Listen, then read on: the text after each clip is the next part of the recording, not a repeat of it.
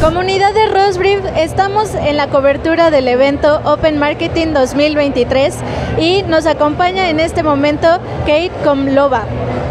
Kate, muchas felicidades por tu plática. Eh, so I'm going to speak in English uh, for the interview. Uh, you mentioned something interesting in, at the beginning of the talk that you that you have of micro influencers uh, about the fear that brands may have uh, by working with these influencers. Uh, what has been the biggest challenge as DRIM uh, that has faced and uh, while working with micro influencers and how uh, have you overcome it? Yeah, thank you for the interesting question. So, from the point of view of uh, of brands, the biggest challenge was uh, to make brands believe that micro influencers still can make nice content, creative content that will have good lights, good cameras, and etc. And sometimes markets are really, really much afraid about their reputation, about if like we put some like colors that are not supposed to be in the picture. But how we did overcome this? As soon as bloggers start bringing results, brands start understanding more and more that, for example, if I'm a blogger and I always make uh, my videos and stories with very bad lights, and surprisingly for like advertisement, I'll make it with a perfect light, it will not look natural. People will not believe me.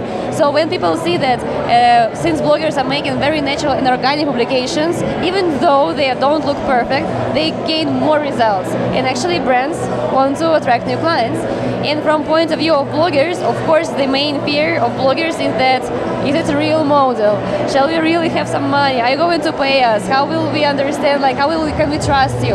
So, like, the only like way to overcome this fear is to start working to show bloggers the results of other bloggers. Because, like, yes, some of our bloggers, micro influencers, gain like over 10,000 USD dollars for for the, what they do for like just with the results. So as soon as we collect this information in each uh, geo we work, it's easier to convince new bloggers that it's more than possible to. Oh, that's money. very interesting. Thank you. So, um, how does has uh, evolved the working relationship between like the brands and the micro influencers uh, during the past years? Uh, well, uh, usually brands really don't have enough time and uh, patience to work with micro influencers themselves. So, like the best part of our service is that we cover everything. So we go to brands like psychologists, like real marketing people, and we collect information like what do you really want. Like, what is your uh, really, real, real uh, goal, commercial goal? Maybe not only commercial, but media goal. We collect all this information, like what is the perfect portrait of perfect blogger to promote you. We collect this information, and then we have between uh, markets, brands, and uh, our uh, bloggers, we have a big team of marketing specialists who have like education, who are like serious people with big experience in marketing. So we sit all together for every company, for every brand, and we think of okay so brands want this we have this. And we find the ways like we write these briefs we find the ways to bring the best for what brands need. And then we go to bloggers and we how to say translate blog, uh, brands language to bloggers language so that everybody gets what like easy information and the results they want to get. Okay, and to finish this interview, this short interview, um, um, what are the keys, like the main things that you have to take into account when you create a campaign uh, with micro influencers? Yeah, there are some keys. Uh, first of all, yes, we need to understand uh, how much the brand pays for target results. First, even moreover, more important, what is the target result? Uh, then what is the typical the portrait of the best blogger? Then what is the bonus for followers? Because to make the company attractive, to make followers really go and make purchases with bloggers' information, we need to give them good coupons, like 20, 25 percent uh, discount for for first uh, compras.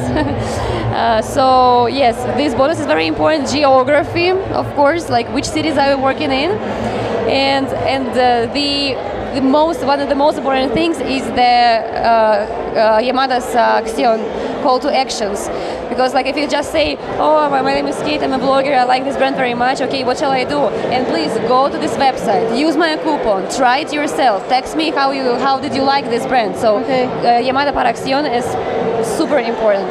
Yeah. Okay. well, thank you, Kate. Thank you. Thank you for being here and thank you for the interview. Thank you. Thank you.